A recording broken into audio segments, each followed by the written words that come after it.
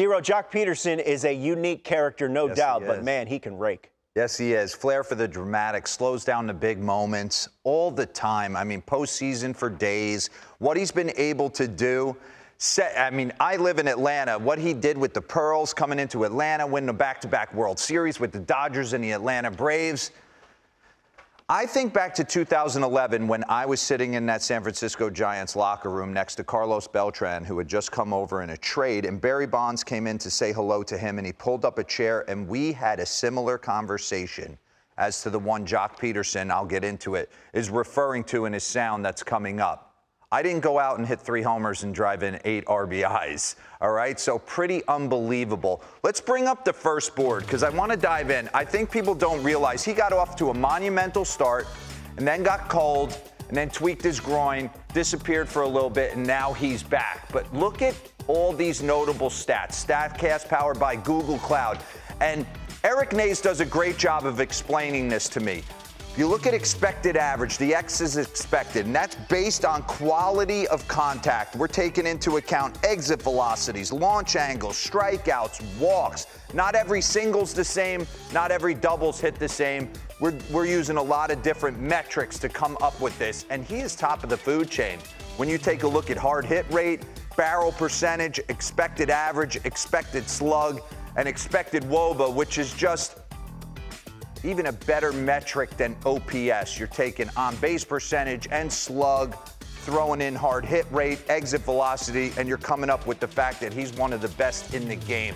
So let's dive in because over the first 16 games, we were nailing a skybox on Joc Pederson. He had many moments. He had 353 with six homers. He had a 745 slug. Remember that night in Miller Park? He turned to those fans, pause this, turned to those fans heckling him, and he let him know with a dead center bomb to win a big ball game. And then he went into a little bit of a tailspin. His next 17 games after coming back from a little groin tweak, he was hitting 089 with one homer. So I wanted to see, was he doing anything different? Was he set up any different? This is him really good, and this is him against Tony Gonsolin recently, early May, where he strikes out. So run this real quick and get me to foot contact. Pause. Right there. Okay? All I see, and this is minimal stuff.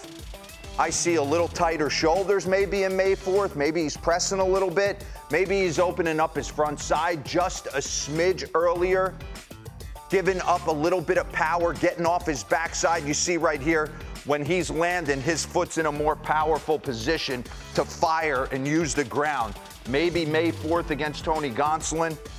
I see 12 you guys get into this too, where they want to almost open the hip and start pointing their toe and they lose a lot of power. Tom Brady, I saw you on Twitter swinging a bat too. We'll get into that a little bit later. Very similar. But this is minimal stuff. You knew he was going to get hot again. So you go through tailspins, it's minor tweaks, run this. And then he sits down with Barry Bonds, has a nice conversation, starts to get his lower half under him. Hmm. Run that back for me real quick. Oh, oh, hmm. right out of the gate, bottom of the third. Try to go cutter in, run it.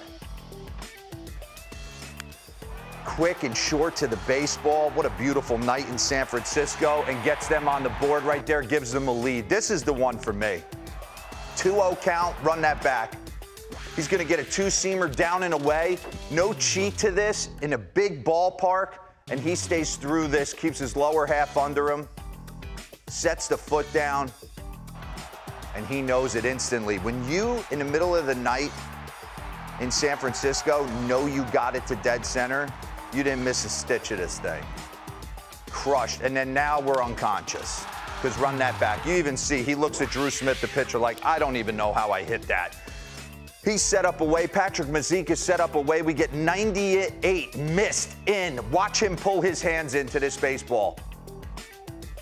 I'm in the zone. Let me go for a stroll right here. He mixed in another knock late in the game. Take a look at that. I mean, you talk about pulling your hands Oh, to wow. a baseball and getting the barrel to a baseball, something Barry Bonds talks about a lot. Lucas Run the sound after this game of him talking about his conversation with Barry. It sounds cliche, but Barry Bonds was here, and uh, he he talked to uh, me and uh, LaMonte Wade for quite a while, and we were just talking, and then uh, the discussion kind of continued, and next thing you know, it was like 6:25, and I was like, oh man, I gotta go, but. Uh, yeah, it just freed my mind up. He, the way he talks about hitting, just uh, helped me out a little bit. And I mean, that's the absolute beauty of having a guy, the greatest hitter that I ever had a chance to play against, number 25 in San Francisco, Barry Bonds. I mean, you almost became a fan when he came up to hit. You had to tell yourself, I'm actually playing against him because you almost wanted to see him go deep. I saw him do things on a field, Wrigley Field with the wind blowing in. Nobody's going deep. Yep, he's going into the baskets. John Smoltz, he had John Smoltz's number. He almost wanted to tell him one time, here, heater, boom, 500 feet deep. So what did Barry tell Joc?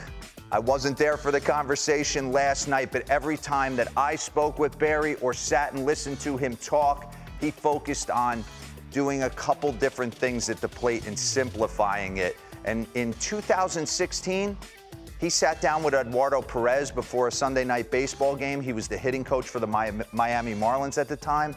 Run that sound of kind of what he was trying to accomplish at the plate. Care if you throw 100 miles an hour. I don't care if you throw 120 miles an hour. There's a catcher behind home plate, and that catcher catches that ball every time with a glove. Only thing I did was change the object from glove to a bat. And all I gotta do is catch it. This has to become an extension to my arm. If this doesn't become an extension to me, if we can't become one, then there's a problem. It's like golf, you know, when you get that little right. driver in your hand or you get a little sand wedge, and I ain't no golfer, so, and you just take this nice easy swing and you just chip it, then all of a sudden you get that driver in your hand, all of a sudden you want to do all this, and everything breaks down. That's a problem. It's a problem. You talk about simplifying stuff. You can run this right here side by side with Joc and Barry. I don't think anybody simplifies the game or has more fun playing the game than Joc Pederson. And just to listen to Barry talk about the simplicity of trying to catch, he talked about Sammy Sosa. I, I watched him take flips one night, and he talked about, and I said this multiple times on the show this is my steering wheel, this is my power. And from the left side, obviously, it's the opposite. This is my steering wheel. He talks about it becoming an extension of his hands and arms. That's what he means with that. And then talking about catching it with his barrel, that's his bottom, uh, that's his hand right here. He's in this situation, top hand right here, and just trying to catch the baseball and driving it in the most powerful position. What a night for Joc. Three homers, eight ribbies. He's had some special, special really moments in his career, Robert. He, he really has. He is a big time performer. Yeah. He performed in a big, big way.